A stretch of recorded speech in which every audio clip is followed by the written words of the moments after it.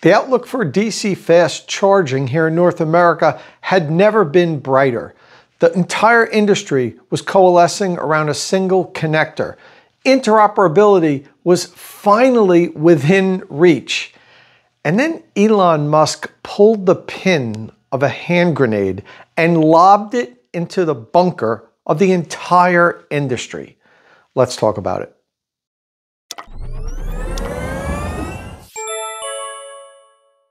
I am, of course, talking about the news that Tesla fired Rebecca Tinucci, who's the senior director of charging infrastructure at Tesla, and her entire team of 500 employees. These are the people that were in charge of maintaining and building out the supercharger network, Tesla's greatest asset, as far as I'm concerned. And that's why I was so shocked to hear this. Quite honestly, I wouldn't have been more shocked if I heard that Tesla was dropping the Model S and the Model X, or let's say they decided to close Fremont, or uh, even if Tesla announced that Elon Musk was going to step down as CEO. And that's because the supercharger network is so integral to Tesla's success. I never thought in a million years that they would undercut their ability to continue to build out the network and to maintain it. Now, to be fair, Elon has tweeted that they are going to continue to build out the network, but at a slower pace, and that they're going to focus on maintaining the current supercharger network. Although they've maintained that really well up until now, uh, the downtime is so minimal. I don't think they could even improve upon that.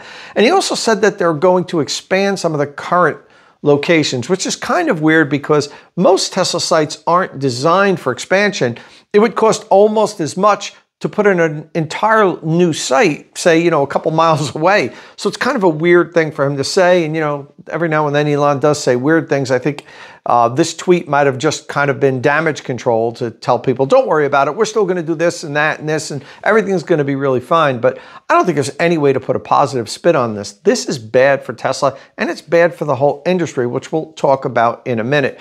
Uh, I'm not going to make a very long video here today. There's a lot of people that's been talking about it, and honestly, I still need some time to absorb this. I just, I had to come out and say something. Um, I wasn't going to initially, but honestly, I keep getting emails from industry stakeholders. Some of them are from OEMs, some of them are from tier one suppliers, basically asking me, hey, Tom, do you have any contacts that are still there? Because we were working with a team of 10 people on this project or that project. I really can't mention what. Uh, and now they're all gone and we don't know what to do. We don't know who to contact. I mean, that's just crazy that Tesla would do this to all of their partners that they're that they've been working with. Um, uh, so anyway, I felt I just need to talk about it a little bit, even if it's a short video. I'm going to talk just briefly about um, two groups of, say, affected people. First off, the uh, EV drivers that own Teslas and even uh, other EVs that now we're going to be getting access to the Tesla supercharger network. And then also a little bit about industry professionals like those that I just referred to that are kind of being left in the dark now. And um, that's not good. It's not good for the industry. And it's really surprising Tesla would do this. So let's get into it. State of Charge is powered by Qmerit. After I've helped you decide which electric vehicle charging equipment you're going to buy, follow the link in the description of my videos and let the EV charging installation professionals at Qmerit install it.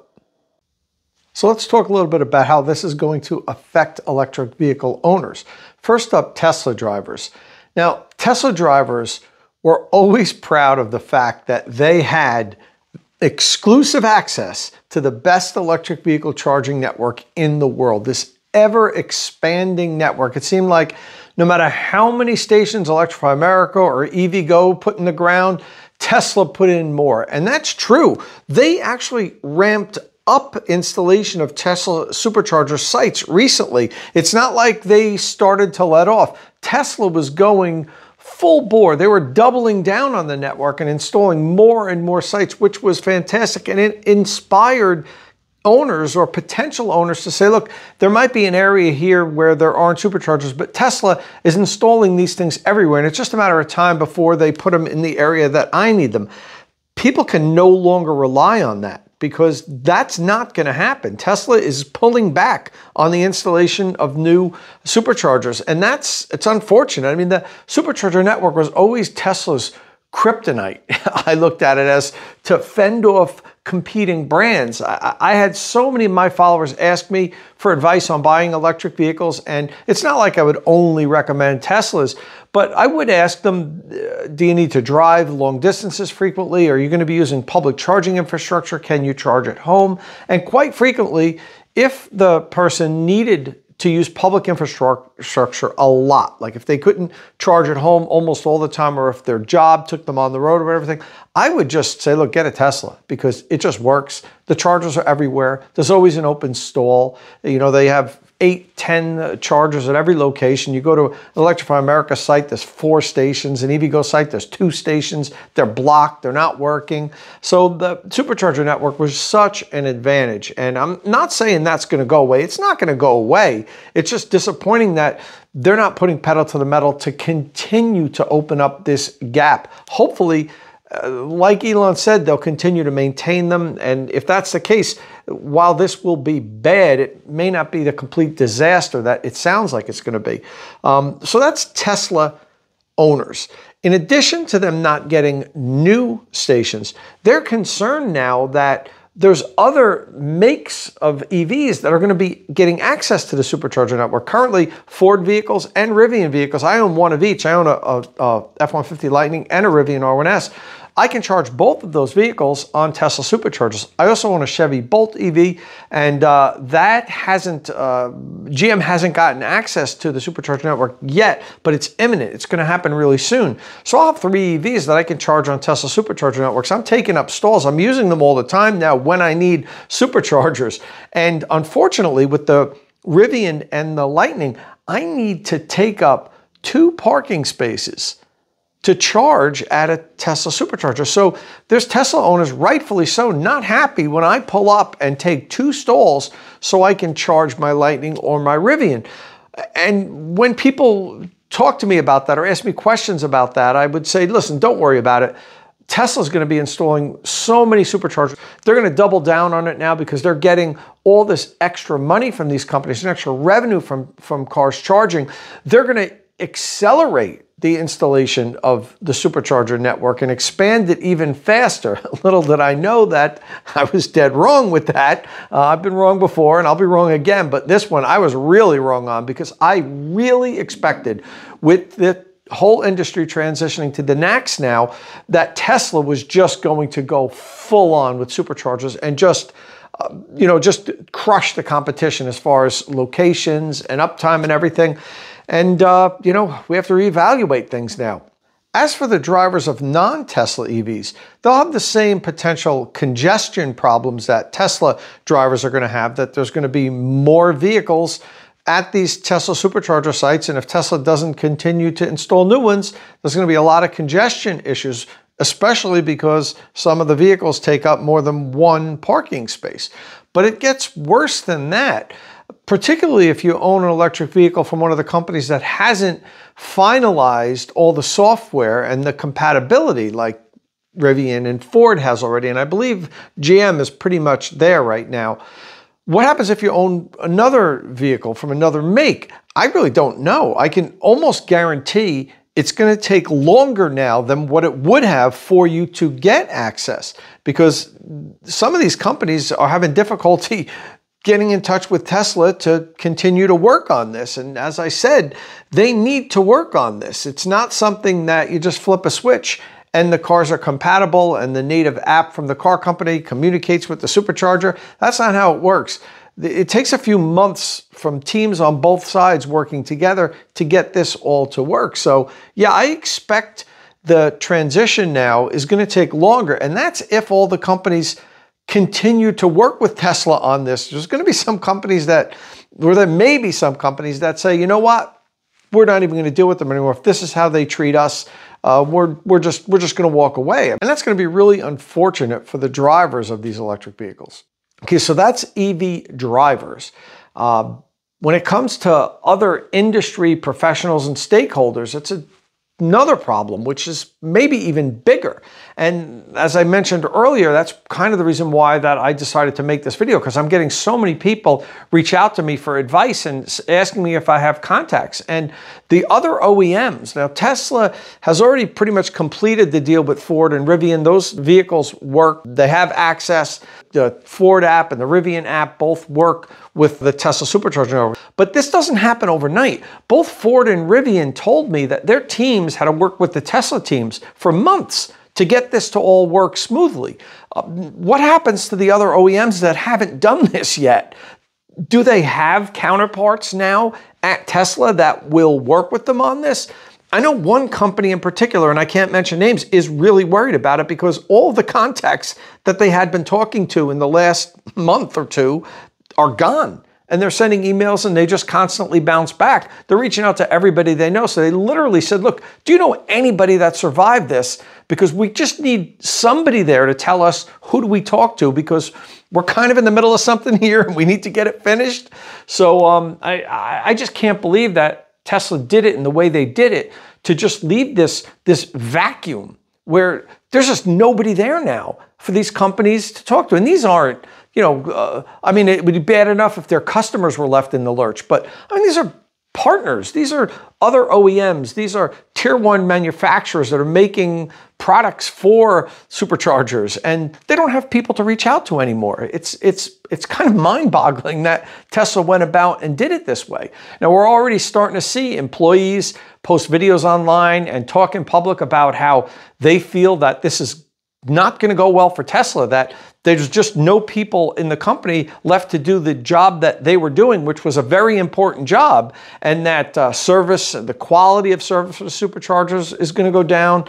Um, the uptime probably is going to be affected, even though Elon said it's actually going to get better.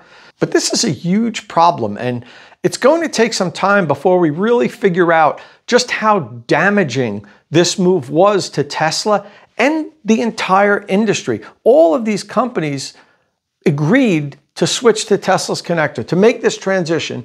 Uh, it was better for their companies, it was better for the industry at whole. And now they might not have a reliable partner to help them in this transition, which they kind of need. You know, Tesla agreed to give them access to the supercharger network. They agreed to, I'm sure, work with them on making their cars communicate with the Tesla supercharger system to make the interoperability very smooth. And now these companies are just kind of left in the lurch, not knowing when they're going to be able to talk to somebody, who they're going to be able to talk to, and when they're going to deliver what they promised to their customers, which was to be able to have access to Tesla superchargers. And what's this mean for V4 supercharger stalls? We were supposed to get these 1,000 volt high charging speeds for the Cybertruck and utilize the fact that it can charge up to 800 volts. People ordered the Cybertruck based on the fact that they were expecting to be able to charge quickly eventually. And what does this mean for V4 supercharging? It sounds like we're not going to get V4 superchargers at least anytime soon. So um, that's another, uh, say, casualty of this. Um, but where there's problems and uh, issues, there's opportunity. And uh, this could be an opportunity for the other industry players, Electrify America, EVgo, and the new network, Ionna. That's General Motors, BMW, Mercedes, Hyundai, Kia, and Stellantis. Uh, they all formed a network and they're going to be installing DC fast charger by 2030. They're supposed to have 30,000 uh, plugs in the ground in the US. Well, that was their projection. They now have a huge pool of experienced talent to draw on. I'm sure there, there's already been people hired uh, in this last day or two. So, I mean, there's some opportunity for them. There's also opportunity for them to get more of the NEVI funding because you know, Tesla, first of all, probably shouldn't have qualified for NEVI funding in the first place if you really read the particulars of it, but they found some loopholes in some states. Some states, uh, you know, said, no, you're not getting any money here because uh, you don't qualify. But uh, I know Tesla did get some of the NEVI funding, and I'd assume now they're never going to apply for it anymore because they're not going to be installing many new uh, sites. So there's some opportunity there for these all of the competing networks to get uh, locations maybe that Tesla was going to get and put their chargers there, get some NEVI funding to do it, draw on the uh, talent pool that Tesla just let go. So uh, this could be a boom for some of the other networks. And quite honestly, electric vehicle drivers really don't care if they're going to a Tesla supercharger or an Electrify America or a new Ionna or EVgo. They just want the chargers to work and to be in locations that are convenient for them to plug in. And currently, Tesla had the most convenient, best working stations out there. And if you want to try to look at the bright side of this, maybe it's going to be the fact that the other networks take this opportunity to improve and uh, you know the the delta between Tesla and everybody else gets a little bit closer. My good friend Kyle Conner just put out a, a, video on this. He ranted on for about 40 minutes, which Kyle's great at doing. He makes great content over at the uh, Out of Spec Reviews channel. You should check that out on YouTube.